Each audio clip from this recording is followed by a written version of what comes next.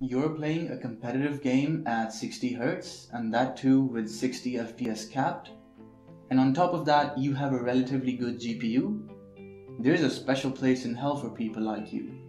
Luckily, I have just the thing for you. This is the Lazy Reviewers and this is my in-depth look at the Zyntech Z2161M.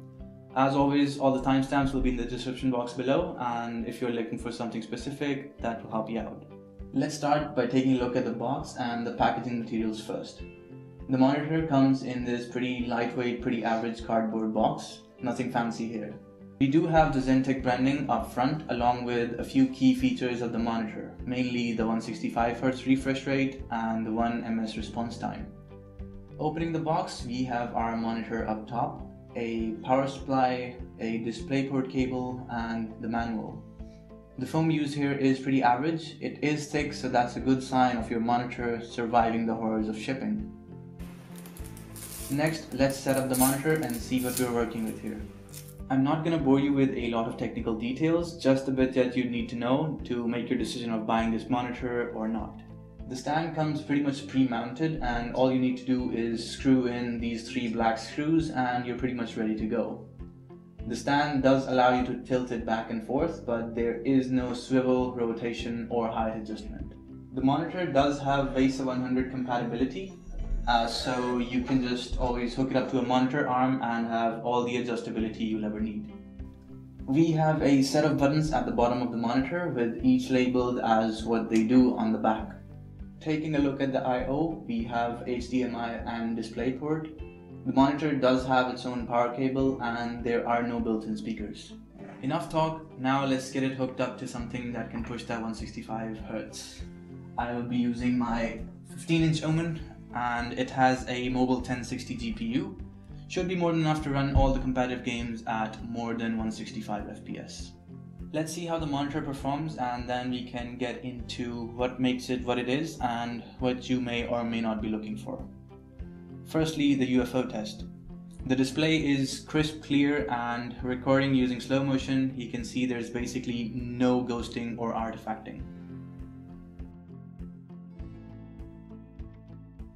Next, I think we should show off probably the best up and rising FPS game, Valorant.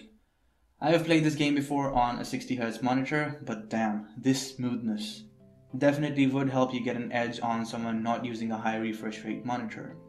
Moving on to Dota, here in MOBA games like Dota or League of Legends, 1 ms response time and low input lag can really help you see the attack animations faster and react properly. Again for the competitive edge. I can already hear most of the backseat gamers saying the human eye can only see 60Hz smartass. Well, that's from the science of yestercentury. There's a reason why all the major brands are spending millions in R&D just to get the fastest refresh rate possible. A detailed explanation of what the human eye can or cannot see could be a future video, but no promises. The colors are above average for a TN panel, even though you couldn't pay me to edit pictures or videos on the screen. I will be making a short video soon on how to make the colors better on this display. The screen is 1080p, but at 24 inches the individual pixels aren't noticeable at all until you're within 5 to 6 inches of the screen. Besides, there is no practical use of having a high resolution screen at this size. It barely makes a difference even at 27 inches. Lastly, let's talk about price and availability. Uh, this monitor comes in at only 36,000 Pakistani rupees with features like a 1 millisecond response time and 165 Hz and FreeSync. If performance is all you care about, this is the perfect buy for you. There are other options like a used Asus 248QE and a ViewSonic 2458 MHD, but uh, those come in at a little over 35,000. If 36,000 is all you have for a display and you don't want to spend anything more, for example to pair with an older Omen like this or a mid-range PC, this would be a steal for you. Well, that's all we have for you today. Like the video if you enjoyed it and subscribe for more to the point unboxings, reviews and much more.